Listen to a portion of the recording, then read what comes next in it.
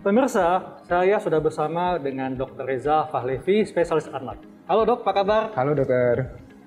Nah, kali ini saya akan membahas fakta mitos yang cukup umum beredar di masyarakat.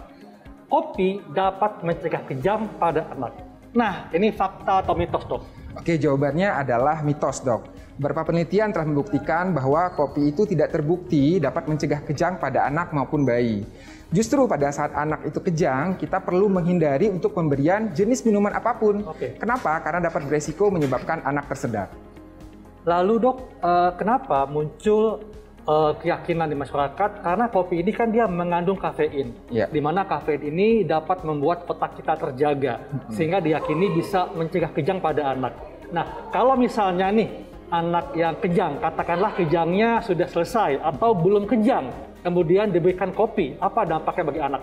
Ya, itu juga sudah ada penelitiannya ya yang saya baca. Itu ada systematic review, artinya memang kumpulan dari penelitian itu membuktikan bahwa sebenarnya tidak ada efek pencegahan kejang terhadap uh, kopi terhadap kejang tersebut. Justru sebaliknya. Jadi kopi itu juga bisa berinteraksi dengan beberapa jenis obat-obatan termasuk obat-obatan anti kejang jenis tertentu gitu. Sehingga memang tidak direkomendasikan sebagai pencegahan ataupun sebagai terapi pada anak yang mengalami kejang ataupun yang belum mengalami kejang.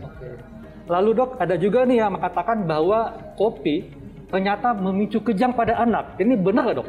Nah, hal itu juga masih lemah. Ada juga memang yang mengatakan demikian ya, tapi buktinya belum cukup kuat gitu bahwa dia bisa mencegah ataupun bisa memicu kejang pada anak.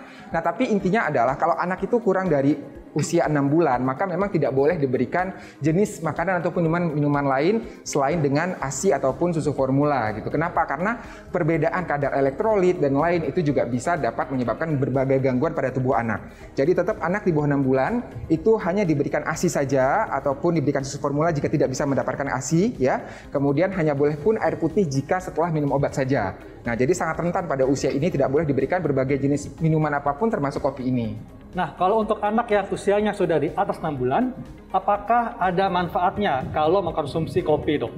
Ya, jadi kalau untuk anak usia 6 bulan ke atas ya, manfaat kopi juga tidak terbukti. Jadi artinya memang um, kopi ini ya, apalagi di dalamnya ada gula dan lain susu, ini juga bisa meningkatkan resiko obesitas pada anak. Kemudian bisa juga mengganggu uh, tidur pada anak gitu. Jadi perlu diwaspadai juga artinya uh, sebaiknya dihindari jika memang dihindari bisa dihindari. Kalau gitu kapan, dok? Sebaiknya anak-anak usia berapa sudah boleh mengkonsumsi kopi? Ya baik, biasanya pada usia lima tahun ke atas itu baru boleh mengkonsumsi, mengkonsumsi kopi, tapi itu pun tidak terlalu banyak jumlahnya ya. Iya. Jadi mitos pemirsa ya bahwa minum kopi tidak akan mencegah kejang pada anak. Baik dok, terima kasih penjelasannya. Sama-sama dok. Nah pemirsa, kita kasih simak fakta mitos berikutnya.